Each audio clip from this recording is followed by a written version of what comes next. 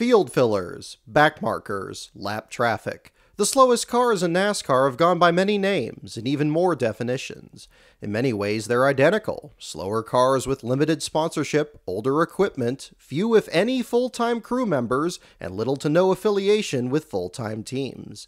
In other ways, they can vary dramatically. The team could be brand new or active for many years, their drivers anything from completely inexperienced to seasoned veterans.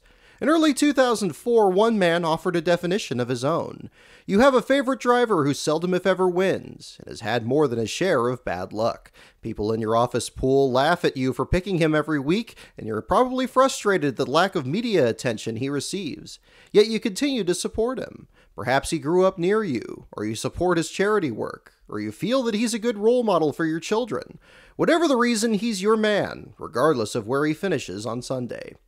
In October 2003, the man who wrote this shared much in common with his subject matter. He'd been downsized from a major corporation and had spent much of the winter trying to find a new job.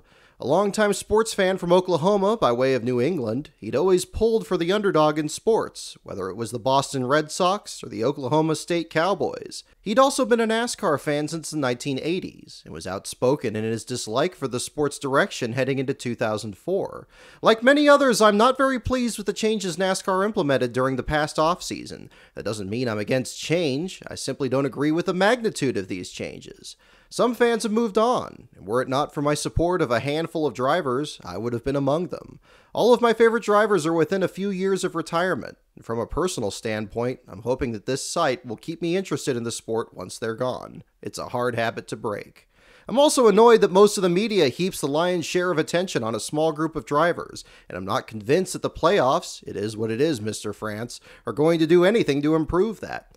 I hope to put a little weight on the other end of the scale by focusing stories and commentary on the rest of the field, the underdogs. That man's name was Dave Laurence, and at his wife's suggestion, he decided to start a brand new NASCAR website called RacingUnderdog.com. The site went live on February 9th, 2004, and though Dave didn't know it yet, his life was about to take a most interesting left turn. As if by divine retribution, they returned from the brink of extinction in even greater numbers. They arose anger in some, admiration in others, but each knew 2004 was their chance to rise. They were the Field Fillers!